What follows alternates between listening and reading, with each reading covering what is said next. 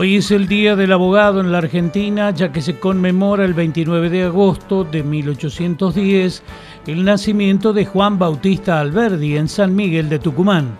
Fue jurista, político, diplomático y escritor. La obra que más lo recuerda o destaca es Bases y puntos de partida para la organización política de la República Argentina, contenidos y lineamientos que fueron base para la Constitución Argentina de 1853. Por supuesto, eh, aprovecho esta oportunidad y este espacio para saludar a todos nuestros colegas que hacen del ejercicio de la profesión sea un orgullo, sí, para muchos. Eh, como a mí personalmente es un sacrificio personal y familiar, el ejercicio ha sido, es un logro, así que saludo a todos mis colegas en especial en este día. El sistema judicial es un servicio inherente e insustituible en una república, por lo que el servicio de acceso a la justicia es esencia del sistema.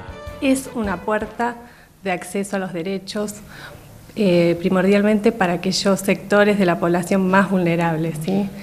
Es decir, aquellas personas que no pueden acudir a un abogado profesional porque no poseen los recursos suficientes para afrontar el pago de honorarios, tienen la posibilidad de acercarse a este centro de acceso a la justicia, que es el único que hay en la provincia, ubicado en la calle Lombardo 905, que es el barrio San Miguel, y allí pueden asistir ya sea por temas de familia, vinculados al derecho del consumidor, eh, por accidentes laborales, allí pueden recibir asesoramiento gratuito. Bueno, como decimos, es poder recibir el asesoramiento de un abogado en causas que seguramente la gente no tiene mucha idea a dónde acudir.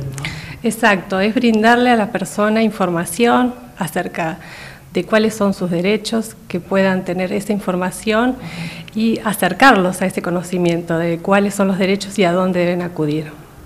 ¿Cómo vienen justamente las consultas? ¿Qué es lo que mayor se pide? A diario recibimos muchas consultas relativas a asistencia alimentaria, reclamos por asistencia alimentaria, eh, juicios de filiación, tenemos muchas consultas eh, previsionales también con, relacionados con lo que es la reparación histórica.